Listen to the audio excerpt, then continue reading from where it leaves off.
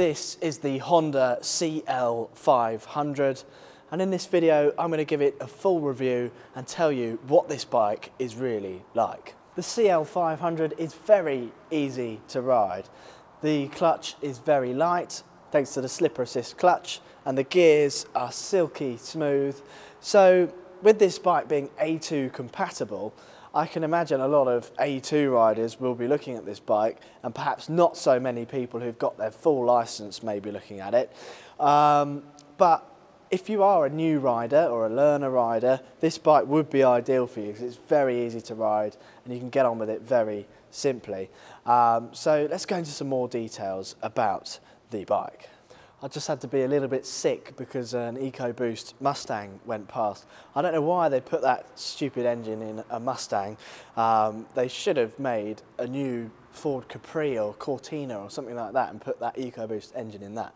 But back to motorbikes, the engine in this CL500 is the same 471cc parallel twin that you see in the uh, CB500X and the Honda Rebel 500, which are the two I've ridden. It is in a couple of other models as well. Um, it's a very good engine. It's very efficient, very reliable, very smooth. One thing it does lack though is character.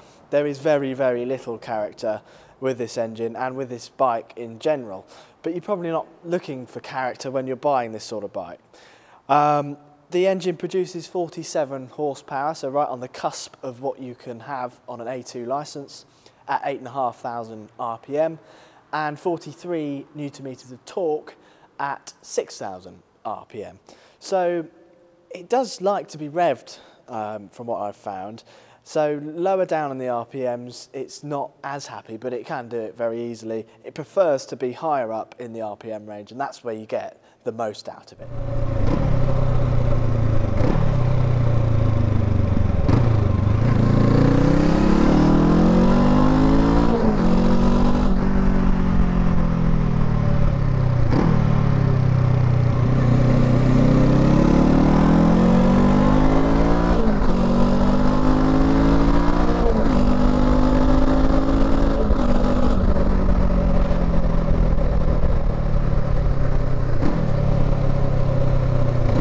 video is sponsored by Rec Watches.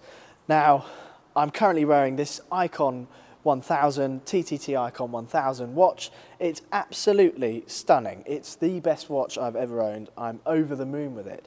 Now, if you haven't heard of Rec Watches, they were founded in 2014 in Denmark by two gentlemen who've known each other from childhood and they've got a passion for everything automotive and everything watches. So they've combined the two and they recycle parts from iconic cars and motorcycles and put them into a timepiece, which is incredible, and they come out amazing. So this TTT Icon 1000 is based on the Icon 1000 Triumph Speedmaster custom build from 2013, which was inspired by 1960s drag bikes. A really, really stunning machine. Beautiful motorbike and a beautiful watch to go alongside it. And you can actually tilt the face of this watch 30 degrees so that you can see it easier when you're riding, so you can read the time without having to lift your hand off of the bars.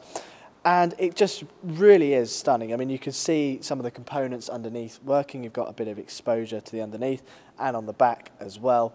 So if you fancy yourself one of these beautiful watches, you can get yourself 50% off with my code Mr. Darcy. So if you click the link in the description, type in the code, you will get this watch for half price. And the offer ends on the 31st of this month, October 2023. So you don't want to miss out and you can beat the Black Friday rush. So head over to there now and grab yourself one before it's too late. You've got a single disc brake on the front and the rear. The stopping power is very good, so no problems there.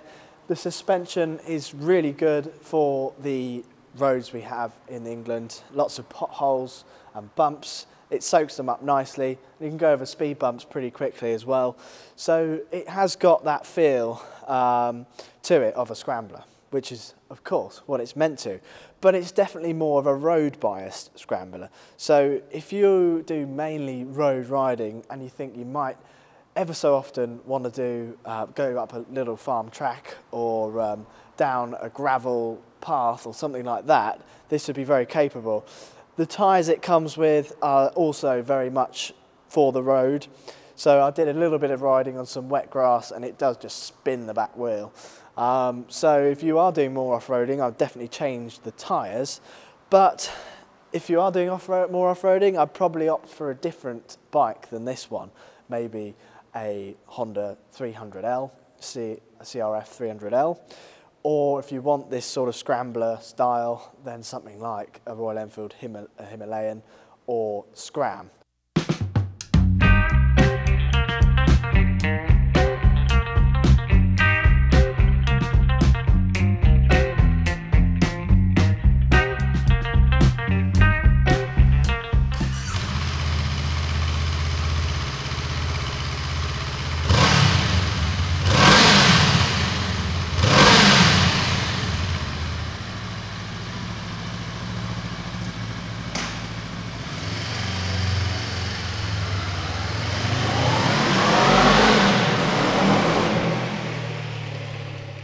Motorway speeds, this bike is very enjoyable. It feels nice and stable.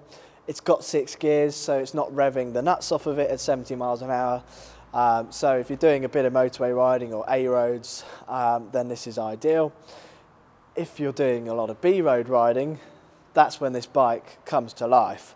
Um, I found that riding it on the A roads, I wasn't getting a lot of enjoyment out of it because it hasn't got a lot of character it doesn't do a lot for you unless you're actually going for it and really leaning into the corners and having a bit of fun with it. Until that point, you don't get the enjoyment out of it.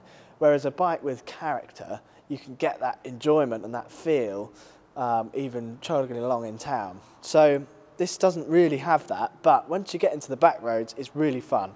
And because of the suspension setup, I found it more fun in the back roads than perhaps a Honda Rebel 500 because it's a little bit softer and it's a bit more forgiving when you go over a bump or something. Whereas in on a bike with slightly firmer suspension, you really feel it shake up your spine, which you don't on this. So great fun on the back roads.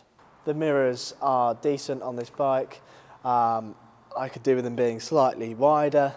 The screen on it is the same one you see on the Rebel, so it just tells you everything you need to know, um, the time, what gear you're in, the miles per hour, your odometer and how much fuel you've got. So all the basics are there. Um, and then this headlight looks really good. Um, that's full beam. Yeah, it seems pretty decent. Nice looking. So that's nice. And then other points of styling, this exhaust. Now, I don't know about you, but I think that is absolutely hideous. That is not a nice exhaust. Um, it starts off okay, and then when you get up here, it's just, ugh, it's not nice, is it? So I would change that instantly if I was buying this bike, but I would with any bike really because they're all too quiet standard.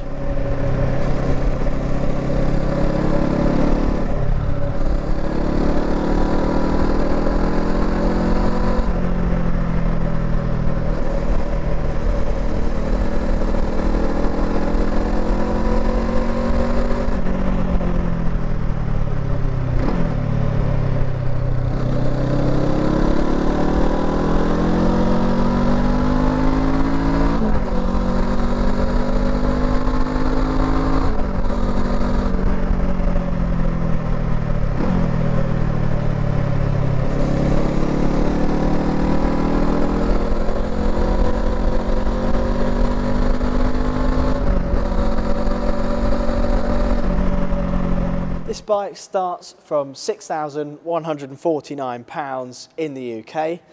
You've also got some accessories you can add to it on top of that.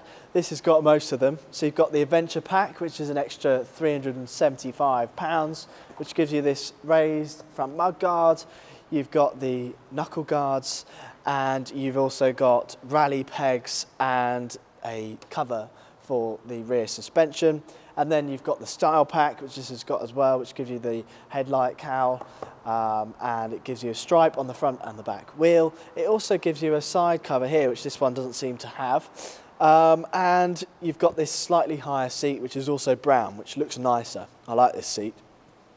So that's £300. And then you've got the travel pack, which this has also got. So you get this rear pannier, side bag, and you get the mount for it. You also get heated grips, which is fantastic. Um, and I think you also get this little rubber pad on the tank as well. So those are things that you could add to it, which would then make it over £7,000, adding an extra 1,100 and something pounds to it.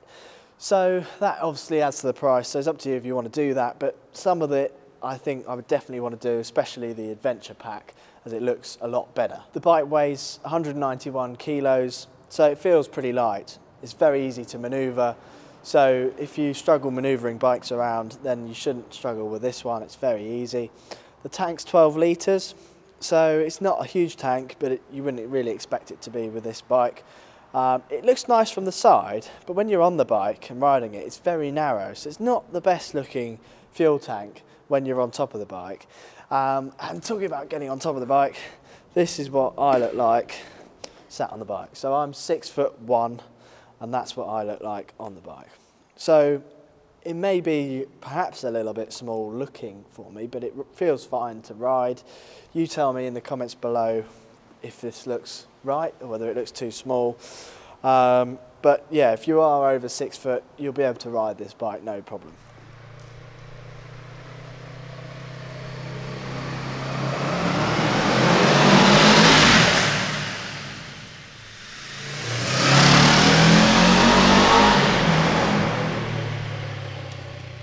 The mudguard on the front, this one's very good, and then you've got a sort of lower one here. But this one is so small that it's not really doing a lot. Um, and you can see on the front here, the radiator and the exhaust are covered in muck from the road. So this could be do, could do with coming down to here really. And because of the way it's styled, you can't really see it anyway. So I would like that to be a bit more, um, bit more coverage there so that you're not having to clean your exhaust and radiator all the time. So in conclusion then, this bike is very good. And all Hondas are very good. It's reliable, it's easy to ride, the clutch is light. Um, so it's great for first time riders. But if you want something with a bit more character, then this isn't the bike for you. But if you want a bike that does what it says it does on the tin, then this does it very well. Um, the seat is a little bit firm, so perhaps for longer rides, I'd want a more comfortable seat. Um, but really, this bike would be ideal for rides up to an hour. Um, great for commuting, great for a little bit of off-road riding if you fancy it every now and then. But if you want to do more off-roading, I'd opt for something else. So if you've enjoyed the video, leave a like, comment down below what you think of this bike, and subscribe for plenty more bikes and videos coming up.